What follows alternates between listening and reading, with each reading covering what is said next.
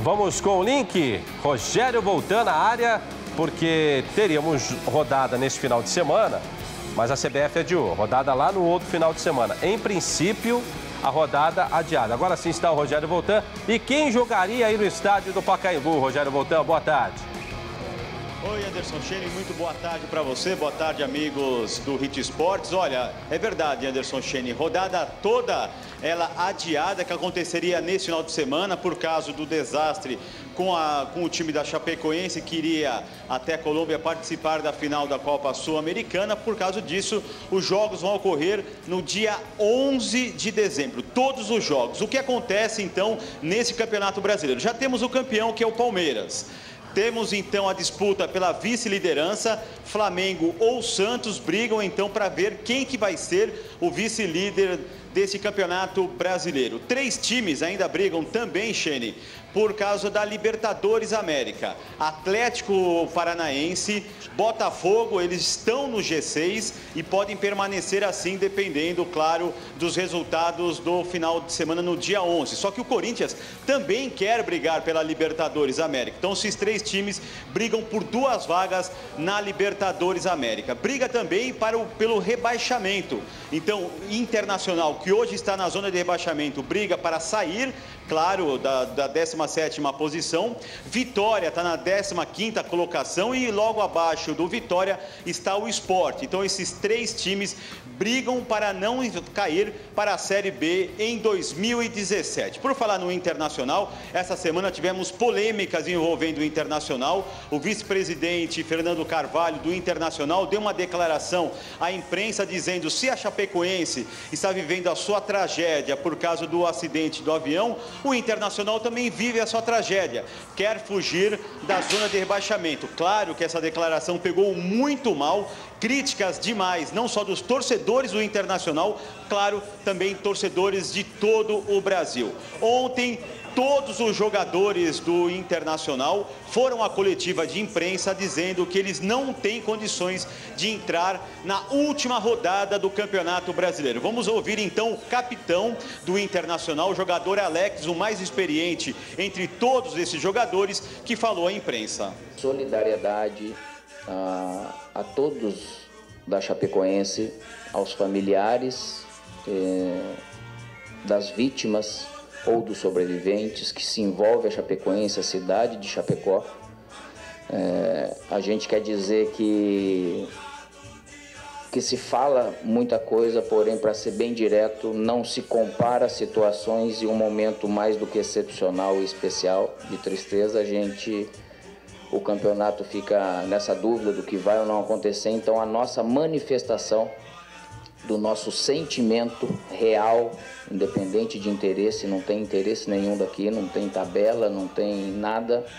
A gente gostaria de deixar bem claro que, por uma questão de respeito e emocional, a gente não teria condições, é, isso a gente pode falar pela gente, de jogar essa última partida. O Internacional apoia a manifestação dos jogadores, estamos como, como todos que estão no futebol, enlutados, extremamente abalados pela, pela, por essa catástrofe que se abate sobre o futebol, com repercussão mundial. Não ter mais futebol em 2016.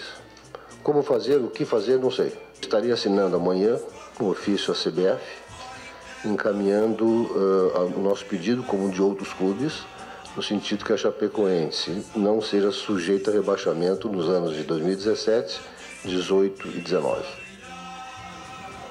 Bom, tá aí então a declaração do Alex e também do presidente do Internacional. Xene, você tinha me perguntado aí na primeira participação sobre quem jogaria aqui no estádio do Paquembu. Na última rodada, São Paulo e Santa Cruz vão jogar aqui no estádio do Paquembu. Agora falando um pouquinho da Chapecoense, porque o último jogo da Chapecoense neste Campeonato Brasileiro é contra o Atlético Mineiro. Atlético Mineiro e Chapecoense não querem jogar essa partida, tanto é que o chefe de departamento de desempenho da da Chapecoense garantiu que o time não vai entrar em campo na última rodada. O nome dele é Victor Hugo Nascimento, afirmou que a decisão foi tomada por unanimidade entre jogadores e comissão técnica ainda completou que a CBF não manda nada neste aspecto. Mas a declaração não pegou bem, segundo o clube, apenas o presidente e o presidente do Conselho Deliberativo se pronunciarão a respeito após tudo o que vai acontecer nesse final de semana em Chapecó, claro,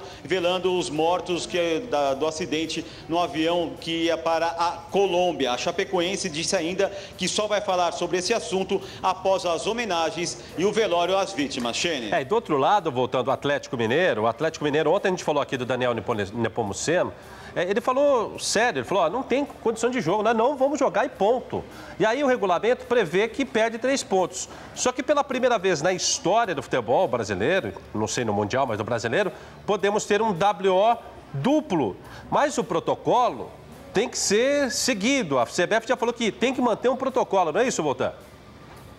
Não, é sem, sem, dúvida nenhuma, tem que manter um protocolo, quer dizer, vai, vai haver aí os três árbitros em campo, eles vão dar início à partida, claro, não vai ter ninguém lá em Chapecó, e aí eles têm que colocar na súmula que nenhum dos dois times compareceu ao estádio Índio Condá. E uma outra informação, Xene, é, tem, tem um zoom, zoom, zoom aí, dizendo que todos os times na última rodada podem não entrar em campo. O que, que aconteceria nesse, neste caso? Como nenhum terceiro, nenhum outro clube é, poderia ser prejudicado, então ficaria a pontuação como está nesta até a penúltima rodada do Campeonato Brasileiro. Eu fui conversar agora de manhã com uma advogada especializada em direito desportivo e eu perguntei para ela, tudo bem, os 20 clubes não vão a campo. Agora, se um furar e se de repente um for a campo, o que acontece? Vamos ouvi-la verdade, é, estão discutindo até mesmo que o campeonato seja encerrado sem que aconteça a última partida. Neste caso, a tabela ficaria da, do, da forma que está agora. Agora, se os times se negarem a, a entrar em campo, juridicamente é possível a aplicação de multa.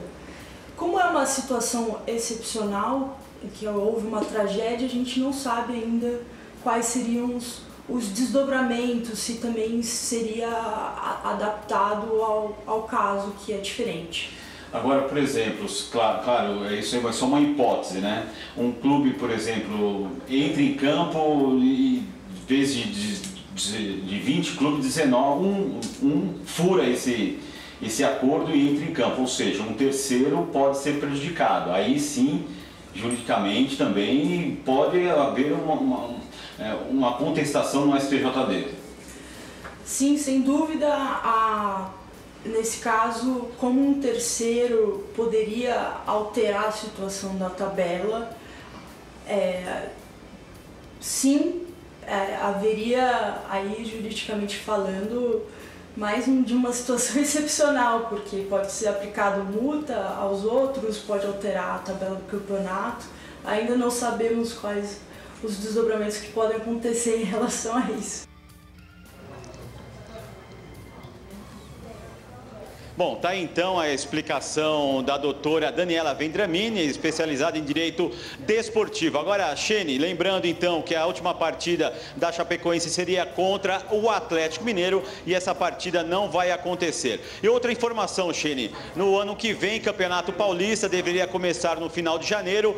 A Federação Paulista de Futebol adiou em uma semana, vai começar no dia 5 de fevereiro. Obrigado, Rogério Voltando, toda a equipe de jornalismo da RIT, direto do Pacaembu, o São Paulo vai jogar contra o Santa Cruz, talvez volte para o Morumbi. Tá realmente uma bagunça. Grande abraço, voltando.